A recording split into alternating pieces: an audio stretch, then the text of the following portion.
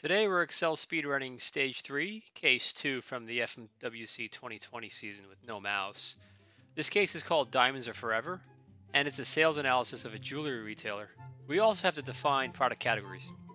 We start by replicating our cost and revenue columns. We have to convert these to a common cur uh, currency, so we multiply US dollar sales by 7.5 and keep all others as is. Then we remove any unneeded columns. We add a column for sales hour, which is needed for question 13, and we copy and paste all formulas down and move on. Now we add our categories.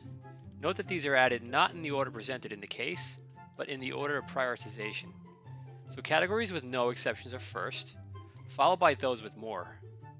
We're going to see why later, but it makes, it makes it much easier to determine category this way.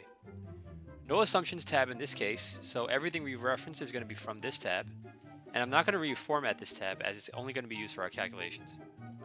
Private label is determined on the brand column, Q. No exceptions here. Uh, once I'm done with that, I'm just going to copy and paste this formula to the other categories, which are determined by one or two criteria, just because it's easier to edit them that way. So similar to private label, private label, brand collections is also determined by column Q. Children is determined by column M. Gold and silver are determined by column G. Diamonds are next. That's determined by columns I and K. Note that the case says it's not a diamond if it's a private label, brand collection, or a watch. I don't really care about that stuff here. You'll see why soon, but I'm taking care of this as the diamonds column is to the right of the other three. And pearl is the same logic as diamonds. For packaging, the item column F must be a box, case, pouch, or tissue. Rather than typing this all out, I just copy and paste after I have the first criteria down, and then I edit inside the uh, quotes. It's a lot easier that way and faster. Uh, for watches, the column F must be a watch, watch box, or a watch strap. So instead of typing all three out, I use a nested is number and search function. Makes it much easier and faster.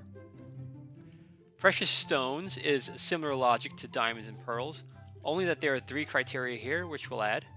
It has to be a ruby, an emerald, or a sapphire. And again, once I have Ruby down, once I have Ruby down, I'll just copy and paste it twice. And now I can edit everything inside the uh, quotes rather than typing everything out. A lot easier and faster that way. Once we're done with this, we go to color stones. That's the only tricky one. So it can't be a diamond, pearl, ruby, emerald, or sapphire. Well, that's that's taken care of in the three preceding columns. So the sum of those have to be zero. Again, and also it cannot be enamel or zirconium but it has to be something. That's why we have the not equals to zero there.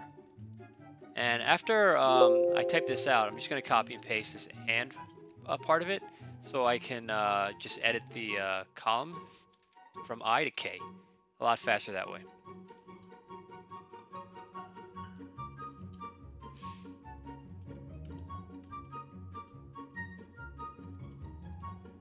Okay, so other. Other is basically everything else. So if, if all the preceding columns are zero, then it's other. And um, now to determine the final category. We're just going to use an index match here and bring in the first category that has a 1 in it. We're going to copy and paste everything down, and now we're done with this tab. We're going to add another helper tab to help us answer the questions. The first thing we're going to get is the unique orders in column E, and the sales associated with each. This is going to allow us to answer question 5, which was the largest purchase made in December. Notice how I'm going to lock column AF here when I'm doing the values. This is going to help us when we copy and paste the formulas over. There's AF, and I'm locking it. All right, uh, so we're going to copy and paste this down, and now we're going to get the unique stores in column D and the sales associated with each. We're going to add another criteria that the date, column A, has to be on or after December 23rd. This is going to allow us to answer question 6, which store had the highest sales from December 23rd to December 31st. Note that I'm not adding a criteria for December 31st because the entire report is for the month of December only, so it meets the criteria. Then we're going to get the unique clients in column AA for question 7, which client, besides the anonymous ones, has spent the most money from 12.1 to 12.15. Note that I use a, I nest the filter function in the unique function to not bring in any anonymous clients. Uh, now we're going to bring in the period sales associated with each client.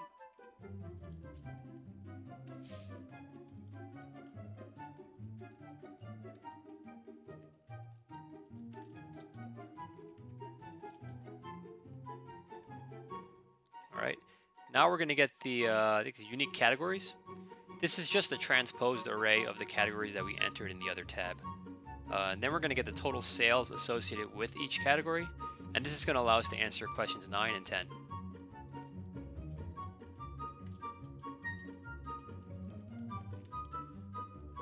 All right, so after this is two more. Uh, we're going to get the unique shop assistants in column Z. This is going to help us answer question 11. Which salesperson has the highest net sales of jewelry in the children category?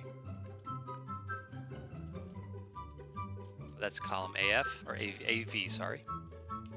All right, and then the last one after this, we're going to get the unique, uh, unique hours in column AH. That's the one that we added in the beginning.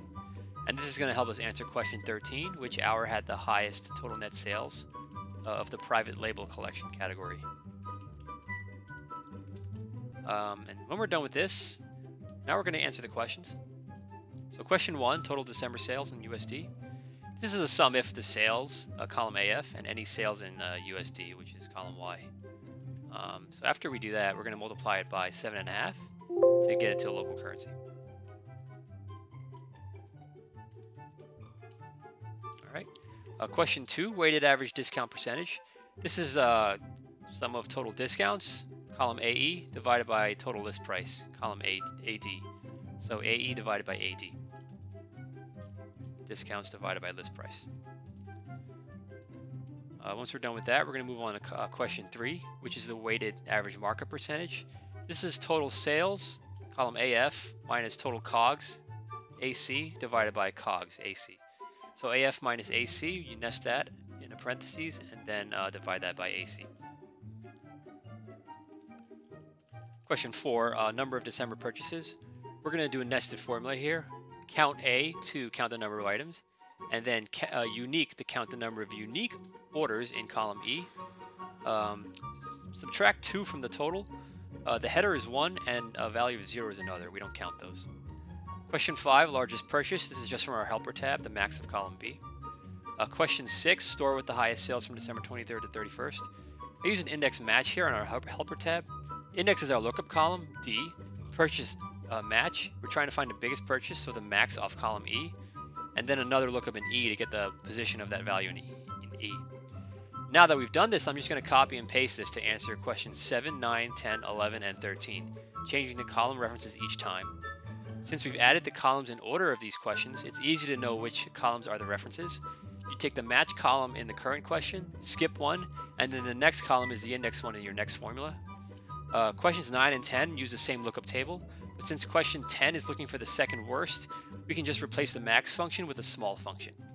You know, while, while I'm doing this, I'm sure XLOOKUP works as well, but I use index match for two reasons. Uh, one is habit, and then two, mainly, XLOOKUP is not backwards compatible with older Excel versions. Not all of my clients use Excel 2021 or Excel 365, so I can't use XLOOKUP for them, and I have to use index match instead. Uh, so we're coming up on here and finishing up this uh, uh part.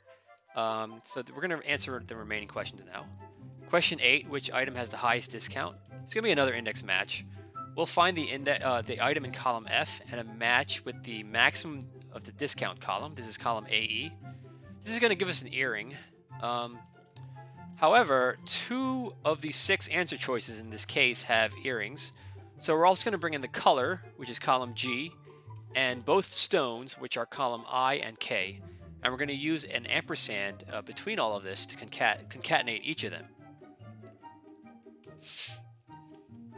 I'll bring it in, uh, I think this is I. We're going to do K now. And this is going to give us a gold earring with an emerald and a diamond. Okay. Uh, great. So question 12, total sales of the gold category at the Zeta store from 12.6 to 12.31. This is just one long sum ifs. We're going to sum, sum up sales, column AF, and then enter our criteria. Category is gold, that's AV. Store is Zeta, that's D. Date is on or after 1216, that's column A. Again, we don't need a criteria for anything before or equal to 1231 because the entire data set fits that criteria already. So that's 12. Question 14, we're just going to copy and paste this long sum ifs from 12 and change the criteria. And we're going to do this for 15 as well. The criteria is not gold, it's diamond. Store is not Zeta, but it's Kappa. and date is not from 1213 but 12 to 24. And we're going to copy and paste this again to nest it. Since we're asking for average weighted average markup, it's the same as question uh, 3. AF minus AC, nest that in parentheses, and then divide that by AC. And then question 15, uh, same thing, copy and paste along sum ifs. What do we want? Average discount, so that change the summation lookup. Criteria is not diamond, but brand collections. Store is not kappa, but beta. Date is not from 1224, but 12.5. Copy and paste the criteria to replicate it. Change the date to 1215, and don't forget to change the sign. Copy and paste the long sum ifs and change the sum range as we want to divide discount by list price, and that's going to give us our answer. Great. Um, this concludes our speed run. I was hitting times of 12 to 14 minutes the first couple times I, I ran through this, so pretty happy I was able to get sub 11. Um, if you enjoyed this video, like, subscribe, and share, and uh, leave any comments uh, or leave any feedback in the comments. Thank you.